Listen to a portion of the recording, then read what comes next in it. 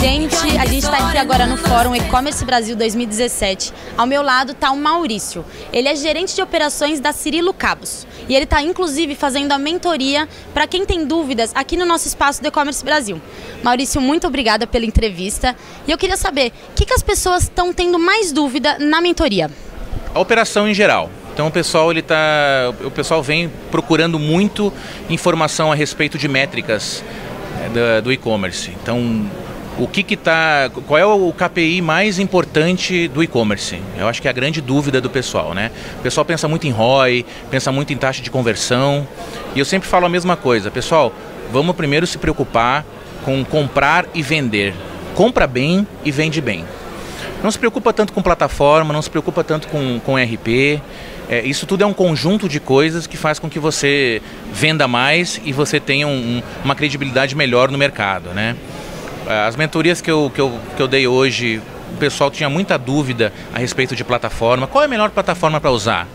É a Vetex, é a loja integrada, é a Xtec, é a Jet. Falei, olha, depende muito do, do, do que você está vendendo, depende muito do teu nicho de mercado. Só que você tem que é, entender que não é só a publicidade da plataforma. Você tem que entender que tem um custo, tem um custo muito importante em relação, em relação a isso. Qual é a plataforma que vai te deixar é, aberto para mexer no layout, para você poder ter um, uma facilidade né, para vender mais? Qual é a plataforma que vai te integrar com maior número de meios de pagamento? Qual é a plataforma que vai te entregar com vai, vai integrar com RP? Então tem essa preocupação e eu sempre digo, não adianta você colocar uma loja para vender na garagem da sua casa e vender só para quem está passando ali. Não adianta.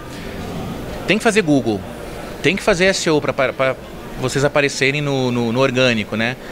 Tem que fazer link patrocinado. O pessoal tem que realmente conhecer a loja de vocês, enxergar onde é que vocês estão, ver produto, ver preço, aí você começa a vender mais. Né? Mas tem uma série de fatores. Não foca só num fator. Né? E justamente a mentoria é para isso, para a gente mostrar o que funciona, o que está funcionando hoje na empresa. Então na Cirilo Cabos hoje a gente está com uma média de 350 pedidos mês, mais ou menos. A gente teve um, deu um salto de dois anos e meio para cá, de 80 para 350, apenas fazendo alguns ajustes.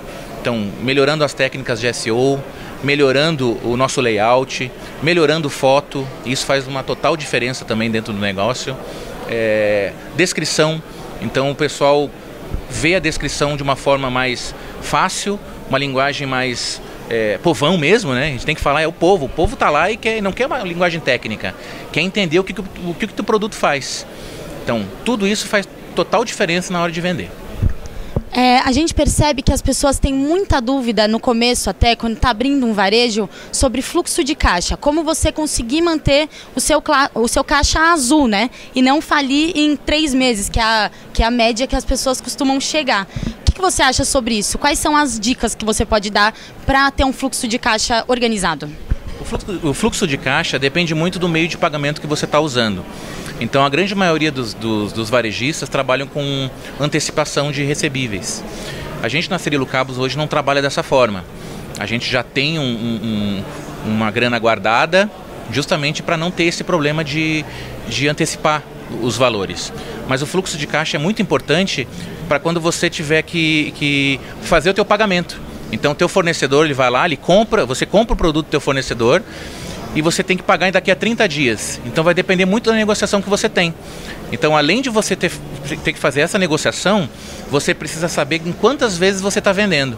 Não adianta você vender em 12 vezes, porque você vai ter só esse recebimento daqui a 12 vezes, se você não fizer antecipação do, do, do teu caixa, né? Então, para ter um fluxo de caixa saudável, você tem que comprar bem, com prazo legal né, de pagamento, e tentar vender não em tantas vezes, né? Tenta vender em menos vezes para você ter um recebimento mais fácil, para não precisar antecipar isso e não ter um percentual muito alto para você pagar desse, dessa antecipação. Maurício, muito obrigada pelas dicas.